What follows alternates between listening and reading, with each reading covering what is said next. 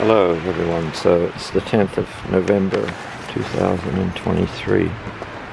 I've just been to uh, that trailer, trailer home where I was a few days ago and where I caught one rat. And this morning, two rats in the traps under that trailer because after I caught that first rat, she said she was still hearing noises in the ceiling of the trailer, rodent noises. So I put two extra traps in the main entry into the floor of that trailer. Put two extra traps and today, two days later, I come back and each one of those extra traps had a rat in it. So that was worth doing. There may be more of them in there. It's quite a big infestation for a trailer home to have because so far I've caught three rats there. One of them was just like this, the first one. And then these two.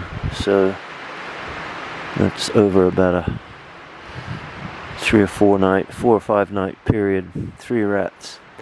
So we'll just keep working on those. I've got four traps set there in the floor of the trailer. And uh, we'll just keep working those traps over until we get all of them because I've got the traps now set on the main what I believe is the main entry and exit route of the trailer floor, where they come and go every night to get water outside and to find food outside. And uh, so I've got three traps right there in their faces along their travel route.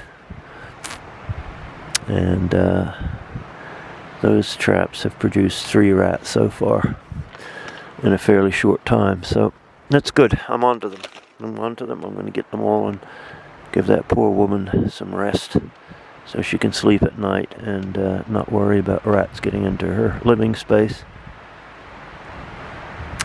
Okay, so thanks for watching and thanks for subscribing and for liking.